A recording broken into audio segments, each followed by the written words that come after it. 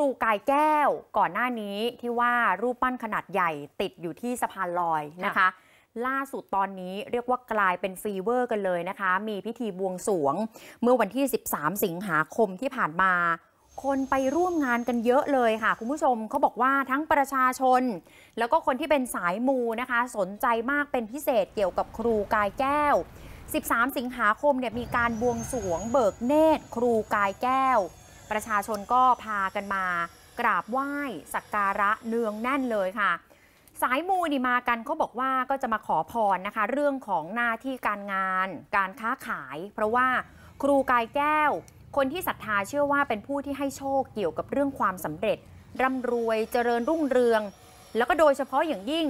ชาวฮ่องกงเนี่ยยกให้เป็นเทพเจ้า แห่งความร่ำรวยกันเลยนะคะโอ้โหชาวฮ่องกงแสดงว่าชื่อเสียงโด่งดังไปไกลอะลองไปฟังเสียงของคนที่มีความศรัทธามาไหว้ครูกายแก้วกันหน่อยค่ะ ก็คืออยากมาผมอยู่ไกลนะบางประกงอะมามาตรงเลยใช่ไหมใช่ คือก็ก็อยากอยากจะมารู้สึกว่าอยากจะมาไหว้อะครับ รู้สึกว่าได้ยินคนพูดถึงเยอะใช่นะฮะแล้วก็ตัวพี่เองก็อยากจะมากราบไหใช่ว้ด้วยอยากใช่จะมาเห็นด้วยใช่ไหมใช่ครับ แล้ววันนี้มาขออะไรบ้างครับ ก็ขอเรื่องการงานครับครับ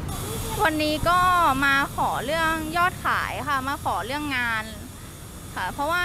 จากที่อ่านประวัติครูกายแก้วมาก็คือ เหมือนกับท่านศักดิ์สิทธิ์เกี่ยวกับเรื่องโชคลาภการขอเออพวกเกี่ยวกับเงินทองอะไรเงี้ยค่ะ ก็เลยมา ก็มาขอยอดขาย ใช่ค่ะ ที่ดูทีวีวันนั้นที่องค์ท่านติดใต้สะพานอะไรนั่นนะคะเออก็เลยแบบเออไปหาประวัติ แล้วก็เลยตามมา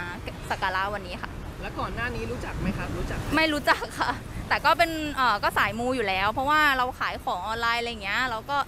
เดินหากราบไหว้สิ่งศักดิ์สิทธิ์ขอยอดขายอะไรอย่างเงี้ยค่ะ ความเชื่อส่วนบุคคล ก็ขายดีค่ะครับก็คนก็คนเขามาเสี่ยงโชคหา บางทีก็หาเลขทะเบียนรถที่ครูไกไอที่ครูไกแก้วเขาติดที่สะพานรัชดา 36 แล้วก็ซื้อวันบวงสรวงวัน13 แล้วก็ซื้อเลขประทัดหางประทัด 6886 กันค่ะ ช่วงนี้ก็จะขายดีเขาจะมาถามหวยแค่นี้กัน ส่วนใหญ่ก็จะเป็นเกี่ยวกับ